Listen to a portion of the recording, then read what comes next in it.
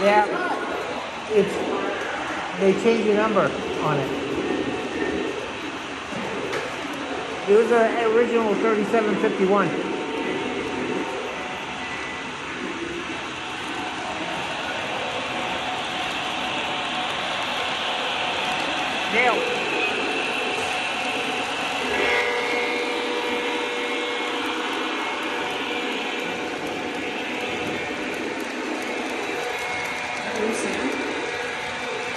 Yeah, Looks like looks good.